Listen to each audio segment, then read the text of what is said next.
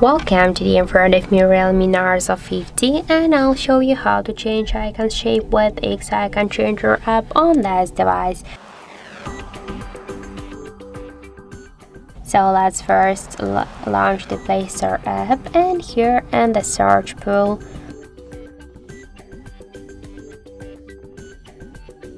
Hello What's going on?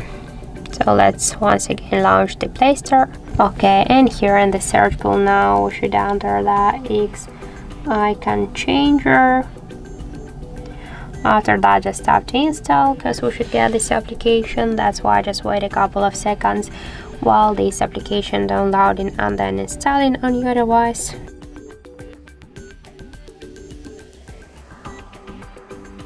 After that just tap here to open the app then just here we can see all the available applications which which icons we can change. For example we can go with the contacts we can rename this icon but I don't want to do that. We can use this just available folders with the different icons or also we can use our device photos from the gallery or we can take a picture right now on our device camera. For example I can go with this one. Or for example with this. Icon then just click here to done on the right upper corner.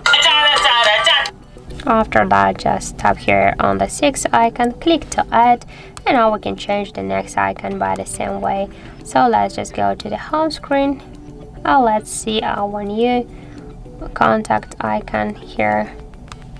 As you can see the difference here between these two icons. So that's it, thank you for watching and if you find this video helpful, don't forget to leave a like, comment and to subscribe our channel.